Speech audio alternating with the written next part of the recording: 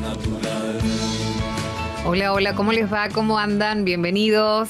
Hola a todos, acá estamos empezando Fuerza Natural en este sábado por mm, en Radio con Vos, a través del aire de Radio con Vos.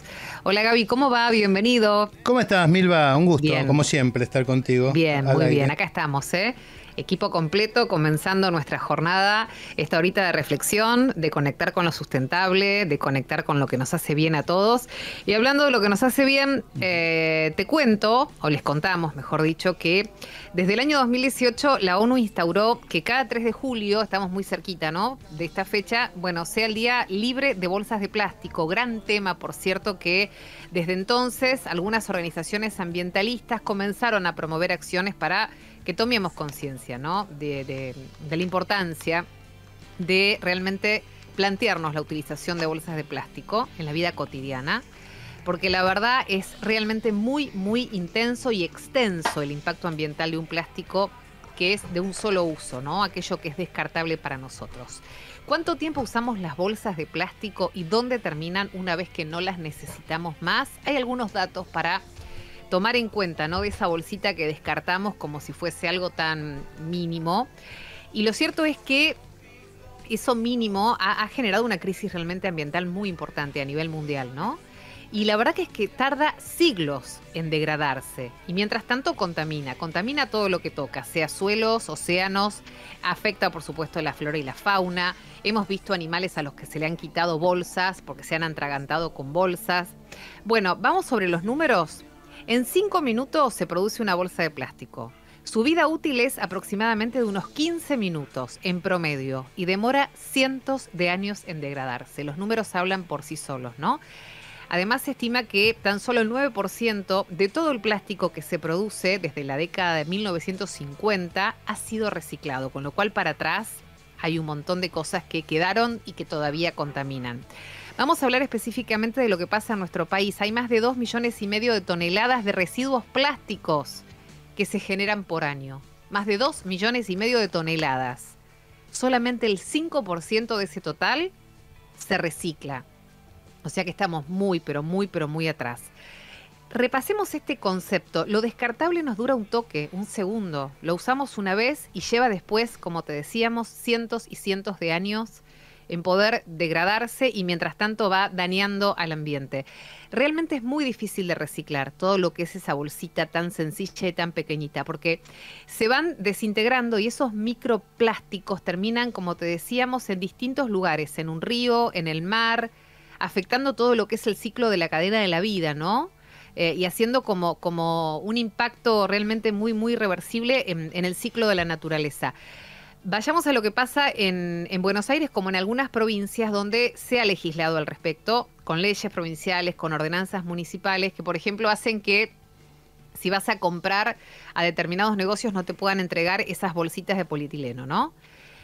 Pero de todos modos, el tema es el control, el cumplimiento de la ley y la responsabilidad individual de cada uno de nosotros que pasa por salgo a hacer las compras o necesito traer algunos elementos, bueno, salgo con una bolsita de aquellas que son reutilizables, que son biodegradables, que son de otro material, mucho más amigable con el medio ambiente. Entonces, un poco para recapitular todo lo que venimos contando, Vayamos simple, concreto, empezando por acciones nuestras de cada día, como decimos siempre. Vamos con la bolsita de tela, vamos con un recipiente para poder traer aquello que vamos a comprar. Vas a la verdulería, vas a la dietética, vas al mercado, carrito, mochila. Empecemos a utilizar aquellas cosas que nos van a servir muchas veces. Empecemos a dejar de lado la bolsita, porque son lo primero, las bolsas son lo primero que vuela y queda como decoración en el mejor de los casos. ¿Cuántas ve- veces hemos visto bolsas en el mar, en la playa, en las plazas, en la calle, en los parques, eh, y obstruyen desde un desagüe hasta, hasta la respiración de, un animal, si se la come por accidente, ¿no?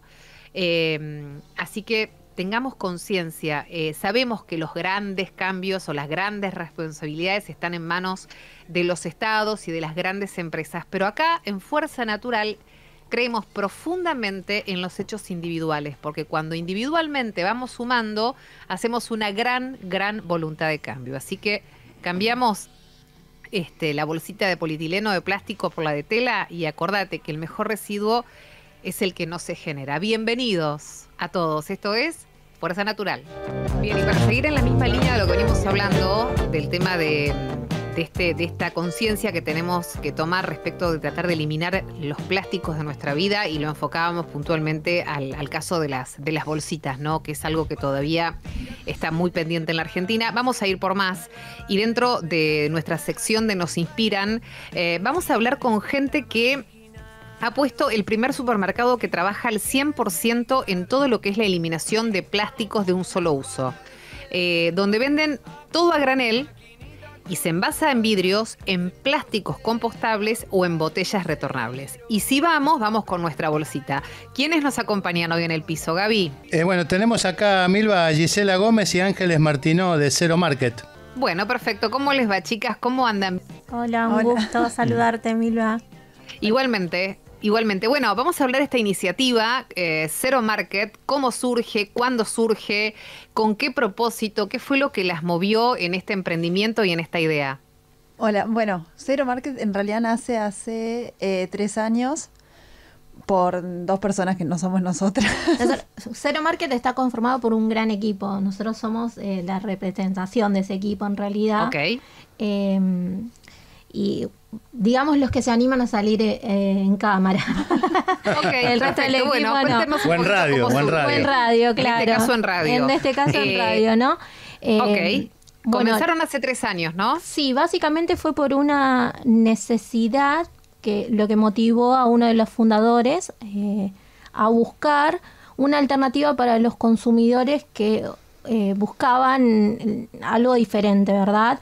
Eh, lo que vos comentabas, el tema del plástico de un solo uso. Em, con pequeñas acciones podemos lograr grandes cambios. No había eh, ese tipo de alternativa para esos consumidores. Em, sí en el exterior, no acá en la Argentina. Zero Market es el primer eh, supermercado sustentable de la Argentina, libre totalmente de plástico.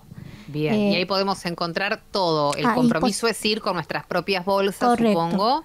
Correcto. ustedes también lo que no venden a granel lo venden, como decíamos recién, en vidrios o plásticos adecuados. Sí, en realidad lo que tratamos de sumar a la familia de nuestros productos eh, es, todo lo que mm, botellas de vidrio, envases compostables. Ahora hay una alternativa nueva em, que son los eh, Ay, se me trae, perdón. No importa, no importa. Son, son alguna, algo que, que, no, digamos que, que puede reutilizarse. Son los, claro, son los paños ecológicos que son ah. hechos con cera de miel, que ah. también eh, son utilizados como hay algunos que vienen como sobres, entonces también podés cargarlo con semillas, fideos, los podés utilizar en las viandas escolares de los chicos.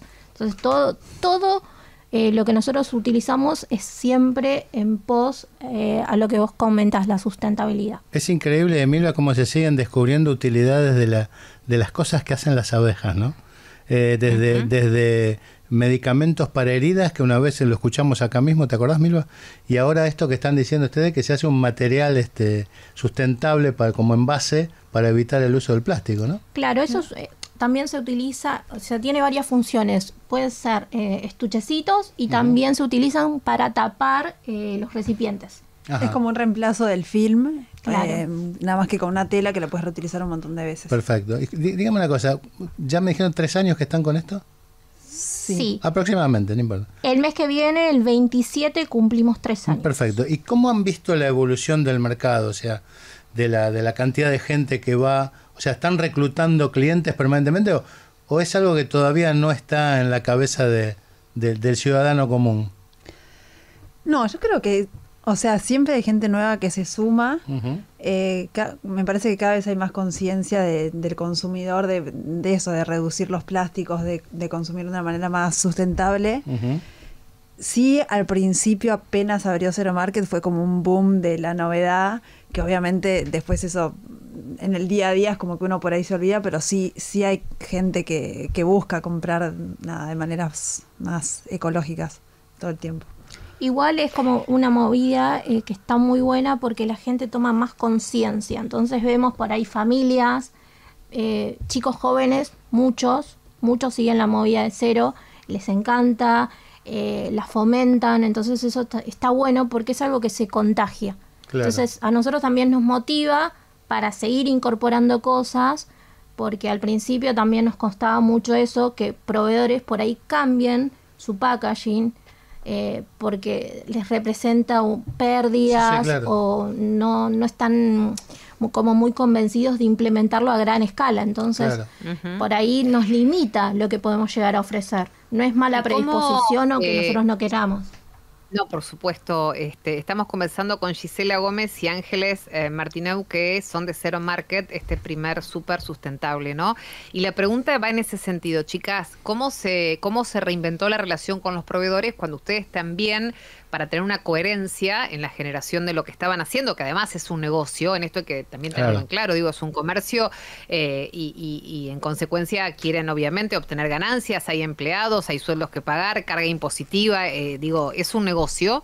¿Cómo hacerlo para que también sea sustentable desde lo comercial? ¿no? ¿Cómo tuvieron que, reinventar la relación con los proveedores? ¿Cómo tuvieron que hacer para abastecerse? ¿Qué, qué, cuál fue el obstáculo más difícil de superar para arrancar el proyecto? Em, a ver, es, es un desafío todo el tiempo estar buscando ese equilibrio porque obviamente es mucho más fácil, no sé, ir a comprar el proveedor normal del, qué sé yo, del esquina que te vende todo en plástico, el plástico es re barato. Em, y si bien ahora cada vez hay más opciones y cada vez, no sé, también como está cambiando un poco la sociedad para el proveedor, también es como más importante cambiar, empezar a ofrecer la opción de de vender a granel o de vender sin envase o de buscar un envase en general compostables. Em, entonces eso nos ayuda. Y después también como que desde el lado del consumidor cada vez se, están buscando estas alternativas. Em, ah, ah, ¿Hay, hay un alineamiento respecto de la sustentabilidad? O sea, todos entendemos el destino de los envases que son sustentables, pero la provisión o sea, ustedes también, ustedes, la, digamos, la empresa, llamémosle, busca también proveedores que tengan también en su cadena de valor la forma de producir sustentable, productos más orgánicos, o sea, que no utilicen fertilizantes, o, todavía no llegamos a ese momento. Trabajamos con muchos emprendedores, o sea, somos como una gran comunidad y muchos de los emprendedores con los que trabajamos comparten mucho la filosofía y, y la misión que tiene Cero, ¿no? Entonces, eh, por ahí encontramos las bolsitas de biocompostables, encontramos yogures, encontramos, eh, te puedo llegar a decir, desde productos de limpieza hasta artículos de cosmética. Todos compartimos la misma, la misma misión, entonces nos vamos complementando. Ellos buscan un lugar donde exhibir sus productos que también son para Em, están destinados para cierto público. En realidad queremos que todos los utilicen porque eh, es, es, un beneficio para todos. Em, pero por ahí en las grandes en las grandes cadenas no tienen su espacio y con nosotros sí. Entonces, debe ser, debe ser, Milva, me, iba pensando mientras nuestras invitadas nos contaban, lo difícil de pelear contra el posicionamiento de las marcas en la cabeza de todos nosotros. Sí, por supuesto. todos tenemos metido las marcas de cada uno de los productos. Y esto es, realmente es una alternativa. No estamos diciendo que las marcas son malas. Estamos hablando de una alternativa sustentable a las marcas, a las marcas tradicionales, ¿no? Es más, lo que Milva, Milva comentaba, el tema de es del mejor residuo es el que no se genera. Para nosotros eso es clave, nosotros lo tomamos como un lema. Em, hasta somos punto de, entrega de las botellas de amor, producto de, la gente que no sabe por ahí dónde dejarlas o dónde depositarlas, nosotros somos puntos de entrega. Ah, em, Recordemos a la gente lo que eran botellas de amor, son, son botellas plásticas que la gente va eh, llenando con productos también plásticos o de celofán, que son de este tipo de, productos, de bolsitas, y con eso terminan dando ese destino mucho más sustentable, como ladrillos, o hacer un polvo de plástico que se pueden hacer otros nuevos productos, ¿no? Tal cual. Em, entonces cuando nos visitan también se encuentran con eso, se encuentran con los diferentes productos sustentables y el tema de em, que mucha gente no nos conoce cuando llega, piensa que si no trae su recipiente por ahí no puede comprar. Entonces nosotros nos encontramos con ese gran dilema. Mucha gente por ahí se acercaba y decía, uh, no traje nada, no puedo comprar, uh, no traje nada. Entonces empezamos a ofrecer alternativas. Bolsitas de, de papel craft, eh, bolsitas biocompostables, para que por lo menos experimenten la experiencia. Es un concepto moderno, Bien. no solamente venden productos, sino soluciones, Milva también. Claro, por supuesto, porque es una manera también de no cortarle la buena intención Así a es. quien decide cambiar la forma de comprar, que me parece que es un gran paso. Chicas, les deseamos lo mejor, que sigan adelante, que se sigan promoviendo espacios como este y que algún día ya no sean más noticias, sino Claro. que sean algo que, a ver, no es como decía Gaby, que tiene que ser todo igual, pero que haya de esta opción y que sea parte de lo cotidiano, ¿no? Que, que, que uno pueda este, manejarse y que ya sea una forma de vida, comprar sustentable también y vender sustentable también. Recuerden, Gracias, Milva, eh, Milva, para- antes, de, antes de despedirla, que, que nos recuerden en qué barrios están, ¿no? Bueno, dale. Dale, dale, dale. Bueno, en Capital, No. en Capital estamos en Belgrano y en Recoleta. Ajá. Después estamos en Monte Grande, en Rosario, ¿Y, están también en redes? Como para en para- redes, Cero. Market Argentina en Bien, Instagram. bien. Y si no, la página Es Cero Mar- Cero www.ceromarket.com. Perfecto, porque es bueno ahondar un poquito y profundizarlo aquellos que quieran hacerlo, ¿no? En Belgrano, en Recoleta nos pueden encontrar, o si no, en tienda online, ahí, Ahí está, pueden perfecto. adquirir nuestros productos. Igual les trajimos algunas cositas como para Bueno, que puedan probarlas Perfecto. y vean eh, A nosotros que no nos gusta, así que bueno. Gisela Ángeles, gracias por habernos visitado. Eh, será hasta la próxima. Abrazo grande. gracias pausa. por el espacio. Gracias. Esto es Fuerza Natural, dale. Y como hacemos habitualmente en Fuerza Natural, una de nuestras grandes columnas vertebrales, por cierto, la, columna del doctor Gabriel Barbagalo, y así la presentamos. Y bien, la, columna de hoy la titulé Milva, un tema que está estuvo al menos en, en primera plana las últimas semanas, que es el tema del litio, ¿no? Y la llamé Una Vidala en lengua suajili. Hace un par de semanas le vengo dando vueltas, como te decía, en mi cabeza al tema de Jujuy y la cuestión del litio, reconociendo mi total dificultad para entenderlo. Conozco la posición honesta y justificada de los pueblos originarios que desde hace años vienen advirtiendo acerca de la pérdida de la soberanía sobre el subsuelo puneño y el daño potencial al medio ambiente que resultara de una explotación descontrolada. Asimismo, comprendo el derecho de la ciudadanía jujeña para delegar las decisiones soberanas a sus instituciones y a transitar libremente por las rutas obturadas de su provincia, algo que se transformó en moneda corriente de toda protesta. Por lo tanto, buscando algo de luz, me tropecé con un artículo de 2019 de Isabel Ramdú, directora adjunta del Foro Intergubernamental sobre Minería, Minerales y Metales para el Desarrollo Sostenible, que hace un interesante análisis acerca de la situación de África y sus riquezas naturales, de quienes traje algunos párrafos. Dice Isabel, África es sin duda el continente con mayores recursos naturales, posee más de 60 tipos diferentes de minerales y un tercio de las reservas del mundo. Tiene el 90% de los platinoides, el 80% del coltán, 60% del cobalto, 70% de tántalo, 46% de los diamantes y 40% del oro. Y agrega, no hay que olvidar que el continente africano rebosa también de fuentes energéticas muy diversas. Pese a eso, solo consume un 4% de la energía que produce. Continúa su informe diciendo, a pesar de todos los recursos naturales que posee, el continente africano sigue siendo el más pobre del planeta. Según el Banco Mundial, un 40% de la población africana sigue viviendo por debajo del umbral de pobreza. Repito, 40% por debajo del umbral de pobreza.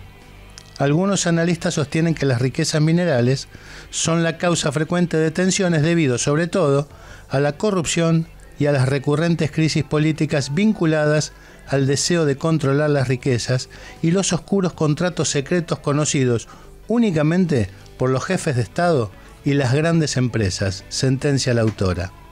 En los últimos años, prosigue, ha adquirido magnitud un preocupante fenómeno de acaparamiento de tierras que genera injusticias, conflictos y violencia en relación con las comunidades campesinas. Suena conocido todo esto, ¿no? Existe un número creciente de agentes, no todos muy transparentes ni escrupulosos, dice Isabel Ramdú, algunos de los cuales tiene incluso relaciones muy estrechas con estados. Son empresas privadas o públicas, gobiernos, fondos de inversión, organizaciones no gubernamentales financiadas, algunas de ellas por agentes con intereses propios e instituciones financieras multilaterales que han defendido durante mucho tiempo un dogma liberal basado en el modelo occidental. Y agrega en otra parte del informe, no hay país que no haya reforzado su relación económica con China a cambio de financiación para infraestructuras. Varios países africanos han aceptado pagar sus deudas con barriles de petróleo o con minerales estratégicos.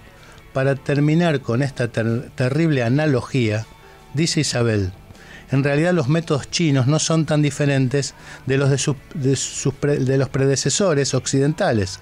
Susurros al oídos de los jefes de Estado, ayudas supuestamente gratuitas, no carentes de intereses estratégicos y ceguera voluntaria ante el comportamiento poco ético de algunas empresas en los negocios africanos. Por eso, para terminar esta columna, donde les traje algunos comentarios acerca de la difícil situación de África y la explotación de su suelo, les propongo, queridos oyentes de Fuerza Natural, que para tratar de encontrar un poco de luz en la cuestión del litio, vuelva a escuchar esta columna, y donde dije comunidades campesinas, cámbielo por pueblos originarios del noroeste argentino. Y donde dije África, imagina Argentina. Ahora bien, donde dije China y potencias occidentales, lea precisamente China y potencias occidentales. No sé si fui claro en los temas de hoy como lo hacemos habitualmente. Día del Médico Rural, mención particular. Cada 4 de julio se conmemora esta celebración en nuestro país, el Día del Médico Rural. El homenaje es porque ese día nació Esteban Laureano Maradona en el año 1895.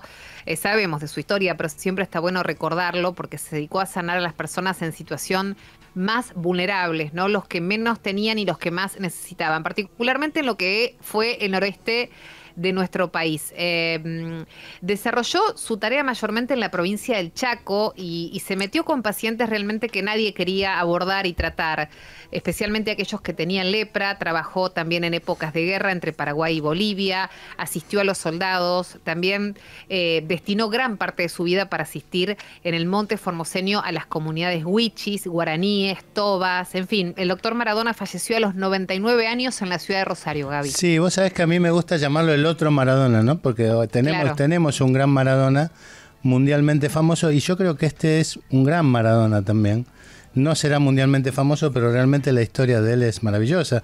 Y también tenemos otras figuras relacionadas a, al, médico rural, ¿no? Hablamos principalmente de, si no es el médico más importante de la Argentina, como fue el doctor René Favaloro, ¿no? Sabes que luego de recibirse eh, y de hacer su primera formación en La Plata, él se fue a, una localidad pampeana llamada Jacinto Arauz, Arauz, donde realizó una importantísima tarea de prevención, de, atención primaria y difusión que llevó a una reducción drástica de la mortalidad infantil en la zona. Él, llega después de todo esto, llega a, Cleveland con 40 años. Es raro, es, es, una historia distinta llegar a los 40 años para empezar, ¿no? Incluso escribió el libro Recuerdos de un médico rural, en el que se habla de estos 12 primeros años de trabajo en La Pampa que lo marcaron, realmente lo marcaron porque lo repetía constantemente, tanto en su vida profesional como personal, Milva. Y sabes que sí, él, mencionaba con mucho amor esos años en Jacinto Arauz, todo el tiempo, todo el tiempo, ¿no? Mucho más eh, que, que, tal vez este, distinciones y reconocimientos que ha tenido a nivel internacional. Bueno, eh, lo decimos muchas veces y siempre mencionamos la condición que tiene nuestro país, que por su extensión eh, y por las extensiones que tiene, hay disparidad entre el acceso a la, atención de la salud en la Argentina y en consecuencia a, a los profesionales. A ver, algunos datitos para que tengamos en cuenta. Aproximadamente el 20% de la población vive en áreas rurales en nuestro país, pero solo el 10% de los médicos se encuentran trabajando en esta zona. Fíjate la proporción, ¿no? Y para el año 2020 eh, la tasa de médicos o de médicas del total del, país fue de 3,88 por cada mil habitantes, siendo del 53% especialistas y solo el 27% en especialidades relacionadas a lo que es atención primaria de la salud. Cuando analizamos estos datos en el interior de las jurisdicciones, se detecta que, por ejemplo, la Ciudad de Buenos Aires concentra 16,5 profesionales médicos por cada mil habitantes. Y provincias como Santiago del Estero o Formosa alcanzan valores de 1,8 y 1,9 médicos por cada mil habitantes, respectivamente, ¿no? Queda bien en claro, Gaby, el contraste, la diferencia y la desigualdad. Sí, este la, heterogeneidad de la distribución y aparte, la, si se quiere, la inversión. Tendríamos que tener el doble de médicos generalistas por los médicos especialistas, cuando acá tus números son exactamente a la inversa. Los números son demasiado claros y esta disparidad en la distribución genera una brecha significativa en la atención médica, ¿no? E implica que... ¿Te parece? Sí. Perdón. No, no, no, avante, avante, avante. No, no, dale, dale. No, te decía que, que, si te parecía bien que en el día del médico rural o pre o muy cerquita de ese día, eh, conversemos con uno de ellos. Eh, y ya está en línea con nosotros Miguel Plaza, médico rural, Diaguita, especialista en salud social y comunitaria, director de un hospital regional en Cachi, en provincia de Sal, en provincia de Salta, bien digo, con una visión de gestión con perspectiva de derechos de género y de interculturalidad. Miguel, doctor, bienvenido. Acá estamos Milva y Gabriel para saludarte. ¿Cómo va? Muy buenas tardes, saludarte Milva y Gabriel y a todos, todas y todes. Y la verdad que una alegría acá desde Cachi directo con ustedes para compartir este día. Nosotros somos los privilegiados, Miguel, de poder este, escucharte y conversar con vos. ¿Cómo te definís? ¿Qué es un médico rural? ¿Qué, condición tiene? ¿Qué, don especial tiene? Eh, ¿qué, ¿Qué misión tiene en un país como el nuestro? Sí, la verdad que sobre todo creo que un, un médico feliz, cosa que no es poco en este tiempo, porque bueno, eh, creo que la gran mayoría lo elegimos, ¿no? Lo elegimos con una construcción también de, de una apuesta de vida, que muchas veces empieza en una historia personal, eh, ancestral en mi caso, pero también cuando un estudio, ¿no? Que se va ya preguntando qué quiere hacer después el famoso especialista o qué hacer, y mucho empezamos a enamorarnos de esto que es vivir en lugares eh, muy privilegiados también que empezamos hablando de esa palabra, ¿no? Como, como en paisajes, en calidad de vida, en seguridad, que tanto se habla a veces en las ciudades, y, pero a la vez también con muchos desafíos pendientes en acceso a derechos, ¿no? Que creo que es el gran desafío y que mucho apostamos para construirlo. Yo creo que es un rol esencial porque es quien estamos más cerca de la familia, quienes podemos resolver más del 80% de los problemas, y, bueno, que bueno, creo que es muy amplio, ¿no? Como, como verás, pero, pero como verán, pero sí, la verdad que empezaría por ahí. Hola Miguel, ¿cómo te va? Gabriel te saluda, colega. Muchas gracias, Gabriel. Sí, buenas tardes. Vos sabés que yo soy médico, pero de acá, de la ciudad. Y yo te escucho a vos, este, y la verdad que siento un poquito de envidia, no por lo que elegiste, porque uno también podría haberlo elegido, pero esa felicidad que, que, nombras, y vos te, también te autoproclamás como descendiente de tus ancestros de Aguitas, ¿no? Em, ¿Qué te dio eso? ¿Qué ventaja te dio provenir de una, de una familia este, que tiene que ver con los pueblos originarios. Sé que hoy, hablamos también en la columna de los pueblos originarios de Jujuy, la situación del litio, pero en este caso a vos como médico, ¿qué te aportó tu, tu, tu cultura, tus genes ancestrales este, aborígenes o, de comunidades eh, originarias?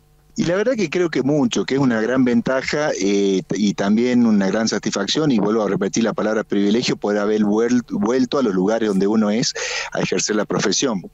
Eh, por muchas razones, justo esta semana me tocó bajar, nosotros hablamos de la altura, ¿no? Bajar a Salta, aún en congreso, bueno, de telesalud, y hablaba ahí con otros colegas, me tocó disertar, y me acuerdo que uno hablaba de esto de las barreras, ¿no? De la salud, del acceso, eh, y del problema, ¿no? De cultural y bueno, y ahí me tocó un poco diferenciarme, yo le explicaba eh, desde mi punto de vista, que obviamente uno nunca tiene la razón absoluta, pero le decía que, que ya ahí entendemos que, eh, que es un, si entendemos que es un problema la cultura, ya, ya empezamos mal, ¿no? Siempre hablamos de empatía eh, social y cuando decirse ponerse en el lugar del otro, creo que primero es reconocer y conocer y entender muchas veces una cultura, ¿no? La verdad que los médicos rurales o de familia muchas veces somos más sociólogos y antropólogos que otra cosa, hablando de la ciencia y y creo que eso, ¿no? La verdad que yo eh, vengo de una cultura ancestral que es sobre todo eh, agricultora, ganadera, y que eso nos permite también en un gran debate que hoy la alimentación sana, eh, tener un paso adelante, ¿no? Y yo creo que muchas veces que muchas veces vemos las, las culturas a veces ancestrales, originarias como un problema, yo creo que al revés, ¿no? Somos gran parte de la solución en muchos casos, porque tenemos otra armonía de vida, otra forma de entender la salud y la enfermedad como, como proceso que es, y creo que la verdad es una gran ventaja, pero creo que igual mucha gente también con ese respeto eh, hacia las culturas puede insertarse y muchas veces enamorarse también de cualquier este lugar que elijan para vivir, ¿no? Eh, Milva, permíteme que le repregunte una cosita respecto de la telesalud. Vos nombraste a la telesalud. Y vos sabés Un tema que, te encanta, te tocó, te tocó la fibra íntimas. Vos sabés que es algo que yo vengo trabajando con muchos otros colegas desde hace ya casi una década, con mucha gente del noroeste argentino. ¿Cuál es tu experiencia y cómo lo ves como oportunidad el uso de la telesalud en lugares como el tuyo, como Cachi, como toda la zona de la Puna, ¿no? Sí, creo que justamente me nos invitaron, viste, a mí particularmente a contar la experiencia porque, bueno, hemos podido avanzar mucho. Creo que ha sido una gran inversión eh, y una apuesta, la verdad que una, diría hasta una reparación histórica en muchos casos eh, del gobierno, la verdad que en este caso sobre todo nacional, que a través de un plan de conectividad pudimos llegar acá en esta zona a lugares que eran impensados con, con el satélite. De hecho, están trabajando acá eh, también en otro de los puestos que nos quedan, son 20 lugares de asistencia que hoy estamos todos conectados a través del plan de conectividad y que a través de la provincia, que tiene un importante también su Secretaría de Tecnología e Innovación, nos ha dado un apoyo para poder hoy estar conectado en cada lugar del territorio.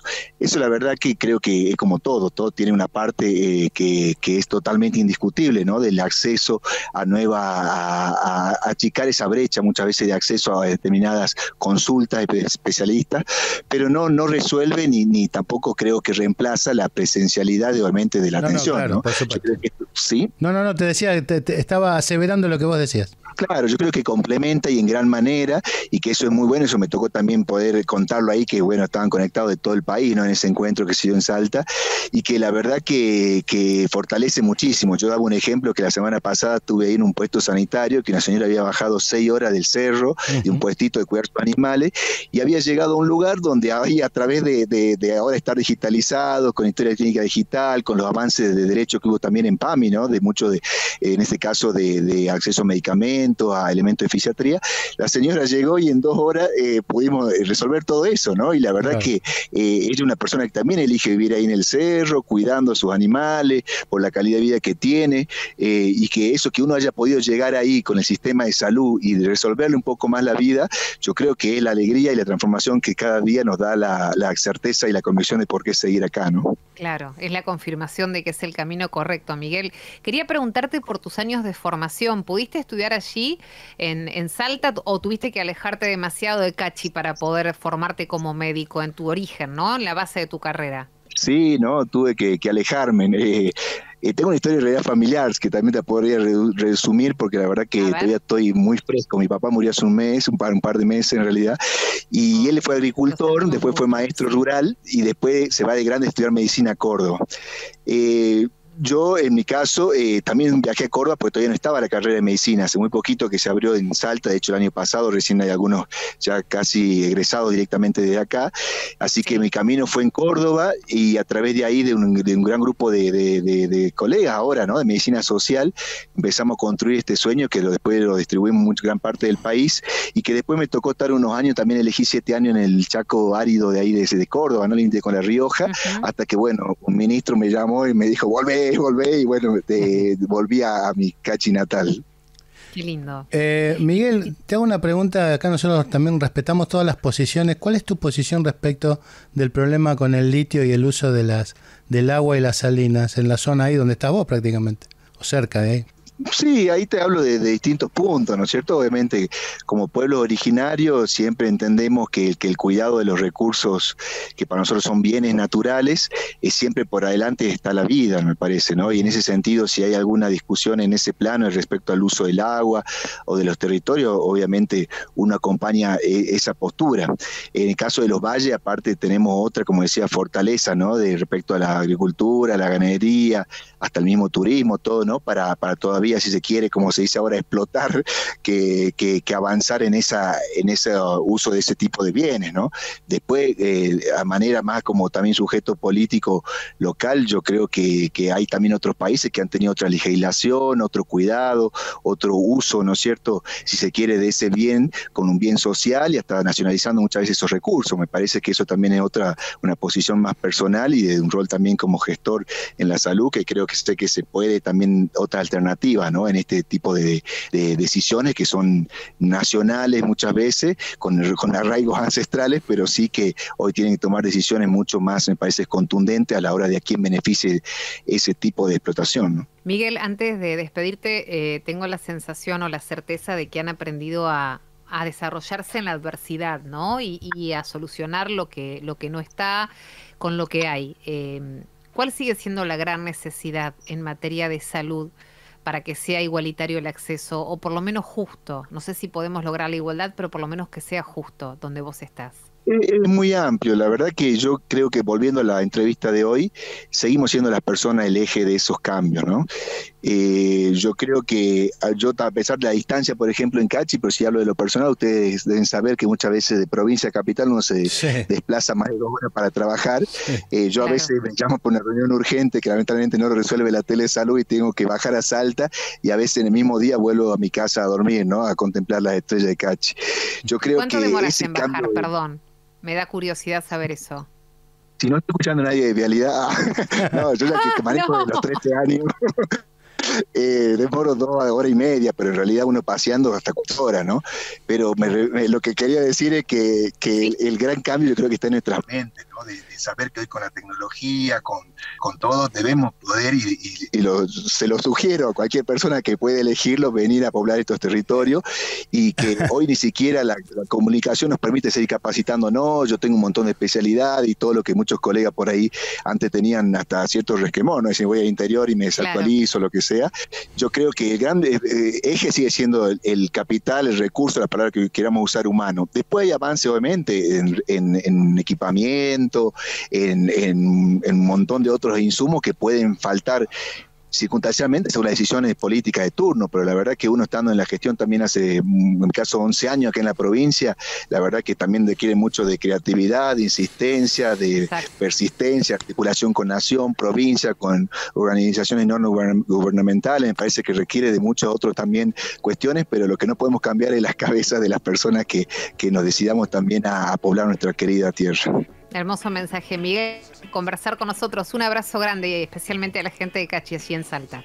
Bueno, a ustedes, por favor, gracias. y en comunicación cuando deseen. Gracias, muchas gracias. Gracias. Era el doctor Miguel Plaza, médico rural de Aguita, especialista en salud social y comunitaria, director del Hospital Regional en Cachi, en la provincia de Salta, ¿no? Con una visión muy, muy interesante. Hermosa entrevista. Mil, Milva, eh, tarda lo mismo que vos tardás para ir de tu casa hasta el Noti, más o menos. no, un poquito menos, pero. pero si te agarran un corte en Panamericana, no sé, ¿eh? Puede ser, es cierto, ¿no? O, a, mi casa hasta el centro. Qué diferente, ¿no? Qué, diferente. Y no te estresás allá, tenés un paisaje muy bello y estás en contacto. Permitime, permitime saludar a Débora y Sonia de Mar del Plata que nos escuchan todos los sábados. Bueno, dale un beso para ambas. Y, me, mandaron a decir a través de una amiga, dijeron, mira que nosotros escuchamos siempre Fuerza Natural. dije, bueno, Débora y Sonia de Mar del Plata, acá estamos saludándolas. Perfecto. Hoy fue un día muy medio ambiente, amiga. Hablamos, hablamos de la cuestión del litio, del plástico, nos fuimos a Cachi. Un lindo día. Sí, claro que sí, y seguimos aprendiendo cosas y conociendo gente que encontró otra forma de vivir mucho más sustentable. Así que a, empezar con las pequeñas acciones que son las que cambian la historia. ¿Saludamos al equipo o tenemos pues, tiempo de música? Ya estamos, no, no, no, estamos yendo, le, decimos, le damos un beso a Diana Beleza, nuestra productora ejecutiva, Ana Clara Nutzen, a Federico López Feijó, a, Charlie Rodríguez, que es nuestro operador técnico, porque no le gusta que le diga la, botonera. Pero, y no, ¿cómo le va a gustar que le digas la botonera? ¿Y por qué no me lo dijiste? Pues está perfecto.